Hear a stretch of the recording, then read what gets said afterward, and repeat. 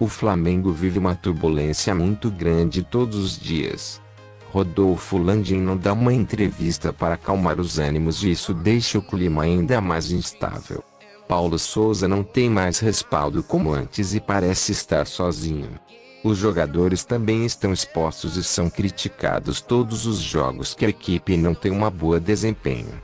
No começo da tarde desta quinta-feira, 7, o jornalista Guilherme Silva informou que o nome de Ricardo Lomba começa a ganhar força nos bastidores para o lugar de Marcos Braz, que há especulações sobre sua saída.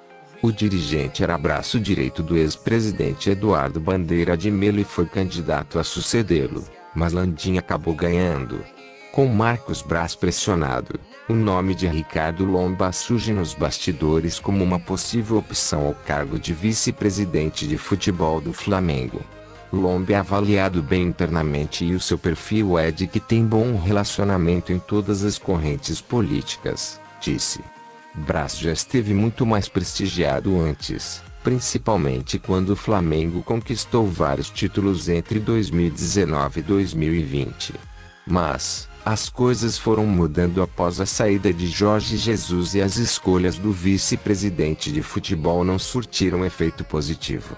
Pelo contrário, nenhum comandante conseguiu ficar por muito tempo e as demissões deram a conclusão que o dirigente errou.